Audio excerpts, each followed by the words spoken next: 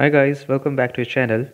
Today we will solve this question which is 20 factorial divided by 19 factorial square plus 40 factorial divided by 39 factorial square and we have to find the value. To solve this question I can write this as 20 factorial will be 20 multiplied 19 factorial divided by 19 factorial square plus 40 factorial can be written as 40 multiplied 39 factorial divided by 39 factorial square right? This 19 factorial and 19 factorial will cancel and this 39 factorial and 39 factorial will cancel.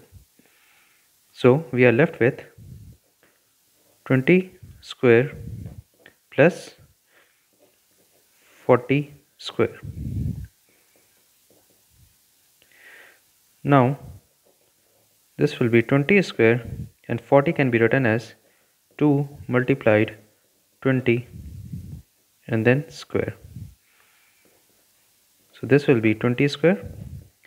Now let's open the bracket. So this will be 2 square multiplied 20 square.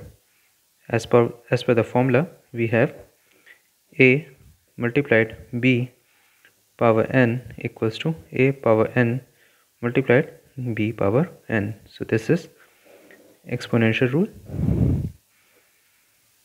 Now this 20 square is common so we can take it out put the bracket 1 plus 2 square.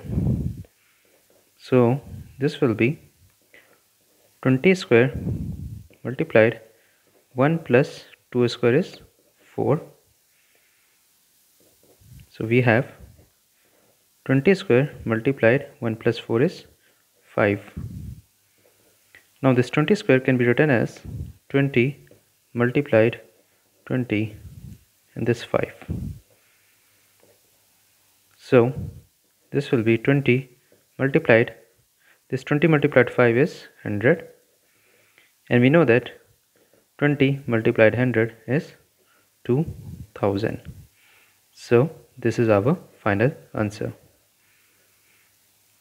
Thanks for watching the video. Please don't forget to like and subscribe the channel. I'll see you in the next video. Bye guys.